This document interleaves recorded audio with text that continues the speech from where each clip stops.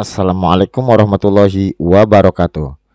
Oke sahabat cek semuanya bertemu lagi dengan channel kita seperti biasa Zara Abid Collection channel tutorial seputar data operator sekolah. Baiklah sahabat cek semuanya teman-teman operator se-Indonesia dan juga teman-teman proktor ANBK ya. Nah di kesempatan kali ini kami akan meneruskan tutorial untuk ANBK SD 2024 gitu Nah, yang akan kami bahas itu tentang ini teman-teman. Tugas Proktor ANBKSD 2024 untuk persiapan simulasi ANBKSD 2024 yang secara online gitu ya. Jadi teman-teman selaku proktor itu harus tahu ya, harus tahu dan memahami alurnya itu seperti apa gitu. Jadi proktor ini ibaratnya itu sebagai adminnya yang mengendalikan semua ya. Jadi berjalan tidaknya kegiatan eh, ANBKSD ini tergantung dari proktornya. Nah, sekarang kita langsung aja ke pembahasan. Ini kebetulan saya sudah meringkaskan teman-teman ya untuk eh, tugas proktor ANBKSD 2024 untuk persiapan simulasi. Nah, langkah yang pertama teman-teman itu siapkan komputer proktor komputer proktor ini nanti dijadikan uh, server ya atau admin gitu. Jadi harus ada satu uh, laptop yang dijadikan komputer proktor atau servernya istilahnya yang dikendalikan oleh admin. Satu itu teman-teman. Yang kedua, itu kan mesti ada pesertanya ya. Ada peserta ANBK-nya. Nah, untuk peserta itu nanti ada yang namanya komputer klien ya. Jadi siapkan komputer klien atau komputer siswa. Biasanya itu menggunakan Chromebook yang dari pemerintah atau Chromebook beli sendiri juga boleh atau menggunakan laptop juga boleh. Intinya komputer yang digunakan itu satu sebagai server yang dikendalikan oleh proktor atau admin ya yang kedua, laptop atau komputer yang dipakai oleh siswa itu namanya komputer klien. Itu ya, ini penting nomor satu, nomor dua. Selanjutnya, jika ini sudah disiapkan perangkatnya, itu teman-teman silahkan download. Jika sudah di-download, silahkan diinstal yang namanya Proctor Browser dari web ANBK. Ini wajib ya, sesuai dengan bit laptopnya. Jadi silahkan di-download dulu Proctor browsernya, kemudian diinstal. Ini untuk uh, pengendali admin ya. Jadi silahkan teman-teman mendownload dulu ya. Nah di sini ada prerequisitas. Nah silahkan di-download nih. Jika komputer atau laptop teman-teman yang dijadikan admin itu empa, uh, apa namanya 64 bits, silahkan yang di-download ini. Jika laptopnya 32 bit, nah yang ini. Ini di download ya. Silahkan diklik aja. Nanti dia akan terdownload lalu install. Nah kemudian untuk yang siswanya jika menggunakan laptop biasa tetapi ingin digunakan sebagai komputer siswa itu silahkan uh, exam browser kliennya di download. Jika memang laptopnya 64 bit, nah yang ini ya. Kalau 32 bit, nah yang ini silahkan di-download di bagian ini. Nah, seperti itu. Jadi setelah ada komputernya, di dalam komputernya itu juga ada yang namanya Proctor Browser ini untuk admin gitu. Nah, jika menggunakan laptop untuk siswanya harus ada yang namanya Exam Browser Client ya. Nah, ini nomor 4 bagi yang pakai laptop biasa ini maksudnya, untuk pesertanya silakan download exam browser client di web ANBK seperti yang tadi kami sampaikan. Nah, silakan ini di-download ya exam browser kliennya yang 64 bits ini rata-rata ya sesuai spek laptopnya. Lalu install ya.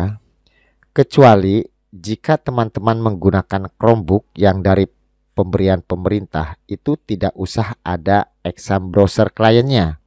Karena memang di Chromebook dari pemerintah itu sudah disetting khusus ada exam browser kliennya. Nah, yang dilakukan teman-teman tinggal update Google Chrome-nya saja ke versi yang terbaru. Sekarang itu versi terbarunya 128 ya. Official uh, build 64 bits. Jadi seperti itu. Jadi jika memakai Chromebook yang dari pemerintah tidak usah menginstal Exam Browser karena otomatis ada gitu. Tinggal diupdate Google Chrome-nya aja. Yang memakai Exam Browser Client ini jika memakai laptop biasa harus diinstal ini ya. Mudah-mudahan bisa dipahami. Nah, sebelum menginstal yang namanya Proctor Browser untuk admin maupun Exam Browser Client untuk peserta jika menggunakan laptop biasa, itu nonaktifkan dulu yang namanya antivirus dan firewallnya jika memang di laptopnya ada antivirus ya silahkan dinonaktifkan dulu sebelum menginstal komputer Proctor atau Proctor Browser ya dan Exam Browser. Nah setelah ini terinstall semua teman-teman Nanti jika waktu pelaksanaan simulasi, gladi bersih ataupun pelaksanaan ANBK itu silahkan cek username dan password komputer Proctor di web ANBK atau ID Proctornya gitu ya ID proktornya di bagian ini nah di bagian komputer proktor nah ID proktornya ini passwordnya itu nanti munculnya sebelum pelaksanaan itu silahkan ini nanti bisa dicatat ya nah kemudian teman-teman uh, cetak dan download kartu login peserta simulasi ANBK SD. Nanti jika sudah muncul untuk kartu loginnya itu silahkan dicetak dan di-download. Gitu ya, di mana di sini. Nah, di sini silahkan nanti bisa di-download dan dicetak gitu. Nah, kemudian ini teman-teman. Untuk simulasi itu kan pelaksanaannya Senin sampai Kamis ya tanggal 23, 24, 25, 26. Silakan diambil dua hari, mau Senin dengan Selasa atau Rabu dengan Kamis. Atau Senin dengan Rabu boleh, Senin dengan Kamis juga boleh. Yang penting dua hari ya. Jadi hari pertama itu literasi, hari kedua numerasi. Memang untuk simulasi ini, ini kan sifatnya dami.